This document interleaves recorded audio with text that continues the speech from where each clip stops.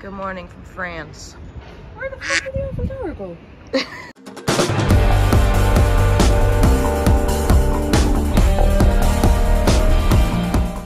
Bonjour au Paris.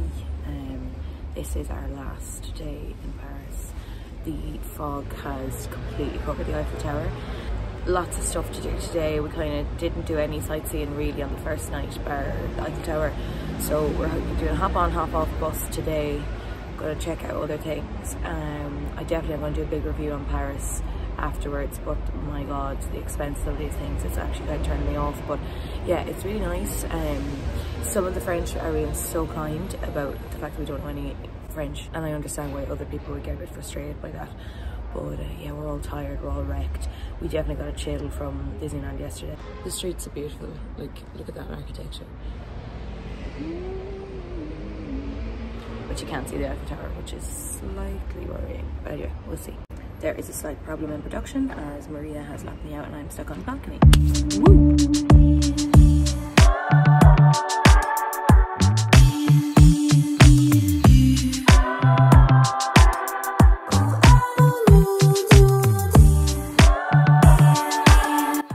So, friends, what you're just about to watch is our trip on the big bus tours in Paris. Big bus tours, or any kind of hop on, hop off bus situation, is a fantastic way to find a new city. I'm going to hop in and out of the next few videos with a voiceover just to talk about my experience with the big bus tours. But first.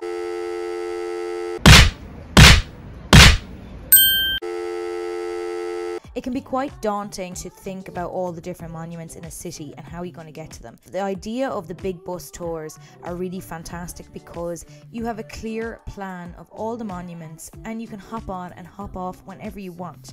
It's a really straightforward process, and especially with big bus tours, I've used them in a lot of different cities that I've been in, and it has a free app that you can use to not only tell you when the next bus is coming, but to also show you where the closest stop is, so that way you are never ever lost. In Paris for us, it was 35 euro each for a 24 hour ticket, so that meant whatever time we hopped on the bus on the Wednesday, for example, we had a valid ticket until that next day at the same time which, if you are smart, jump on the bus in the afternoon, for example, and be able to do other stops the next morning. So it's something to think about. And if you think about it and put it up against the budgets, it works out a lot cheaper than a load of taxis if you were to go that route. I would also highly recommend putting the headphones in and actually using them because you get not only a really good sense of where each monument is and why it's important, you also get really cool historical hidden facts that you may not have known. For example, stories about the Notre Dame Cathedral, stories about certain bridges in Paris. We learned a lot about them, which we didn't know before, and it was really, really interesting. So, all in all, highly recommend the big bus tours or any hop on, hop off bus situation but the big bus tours are my favorite and they are in majority of major cities that hold a lot of tourism.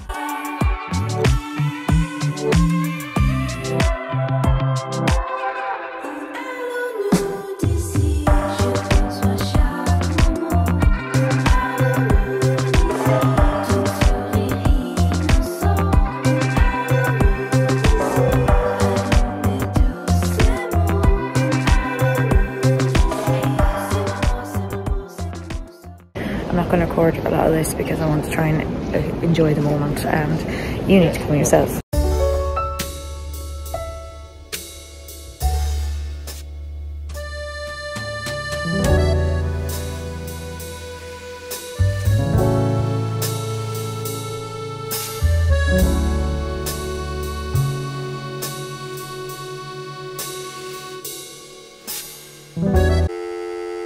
Future me just popping in here, not me saying I'm not going to film much of this, I'm going to enjoy the moment and do possibly the most filming I've ever done in that bloody museum.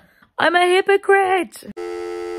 Bonjour mes amis, uh, we are here at Musée d'Orsay and just some really quick facts for you so I don't overdo it with voiceovers. Musée d'Orsay is a very famous museum just 10 minutes across from the Louvre.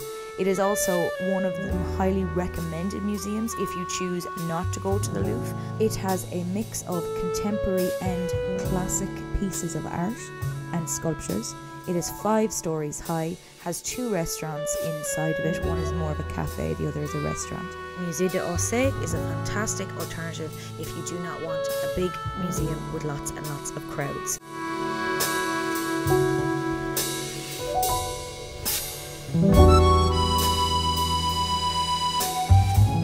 So we have just done Musée d'Orsay and it was lovely.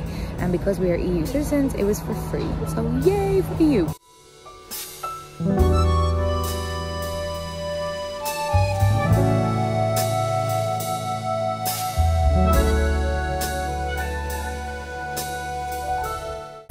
I got a hash. I just got abandoned. No, you didn't.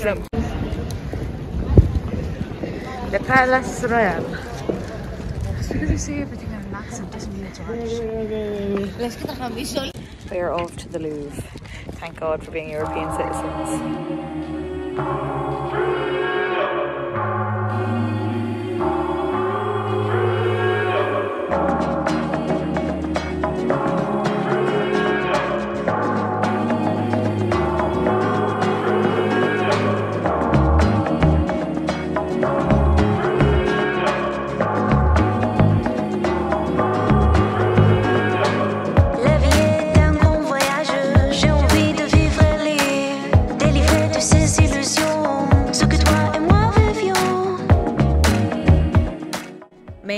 Say about the Louvre is do not do it on a day where you only expect to be in there for an hour. Do it in a whole day. There is so many different turns, there's so many different expositions. You will need the full day for the Louvre and get your walking shoes on because you're going to be doing a lot of steps. And very controversial opinion, but the Mona Lisa and the lines for the Mona Lisa is not worth it. There is no need for you to get close to it. The lines are way too long. Go and enjoy the other pieces of art that are on display. Don't kill me, it's just my opinion.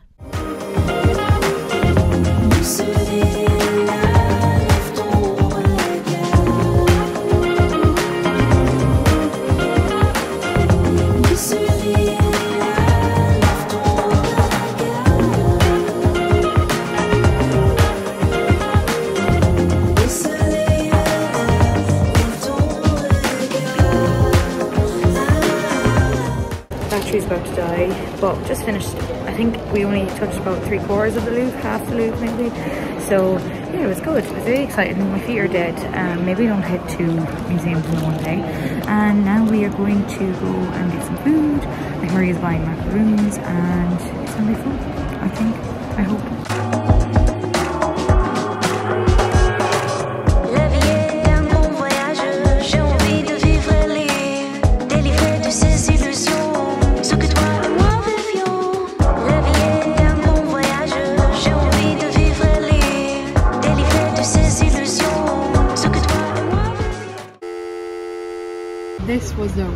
Reason I was coming to Paris. The macaroons. And then Don't curse.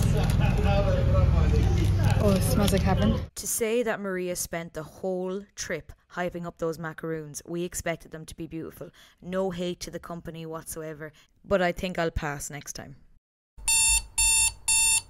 It is nearly half six. We're waiting for our taxi to come collect us to the airport and au revoir Paris. And just like that, we say goodbye to Paris and we said hello to Dublin. Every time I go to another airport, I'm always so grateful for how quick and efficient the Dublin airport is. So with a big coffee, we headed to our gate. This is just to show how bad my accent is when I'm around people who don't understand Longford lingo because I said Katie and he said AJ. There had been a lot of work that I had planned to do on the way home from this trip, but for some reason we ended up on a lovely Aer Lingus flight that had not only Wi Fi, but screens in the back of every chair, which was filled with television, a map of where the plane was flying, and my favourite, games. So I played the goofy game for a while and then ended up spending the hour and a half playing solitaire very badly. There's a lot to reflect on from this trip, from being the first time we've flown in two years to the sheer difference of life compared to Ireland and Paris. I will be doing a video on the full review and my honest opinions of Paris. But for now, I want to say thank you for watching. Thank you for following this wee journey that I've been on. Appreciate it. And hopefully, these short little vlogs have given you a little bit of an escape from the madness of the world. I hope that you all stay safe, healthy, and well. And I wish you a good day or night wherever you're watching from. And I'll see you when I see you.